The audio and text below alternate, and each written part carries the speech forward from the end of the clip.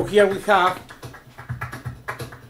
one progression by John McLaughlin, and we can use it everywhere, but this is one way in which you can use the rhythms and play inside, compas inside rhythm, and put exercise there which make you sound in a flow and round, right?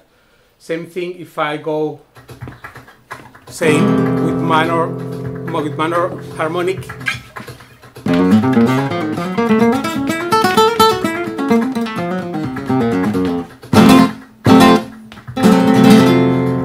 it's almost, you know, you have making phrases that make sense, the contour of it, because one thing is the rhythm, and the other is the contour. And the contour is how, just like in drawing, you have a contour there, and that can be inside the rhythm. So I have a whole method prepared for this if you want to learn it from any level, from zero up to the sky. My email is there, the description. First link there is my new email. Thank you, and I see you next time.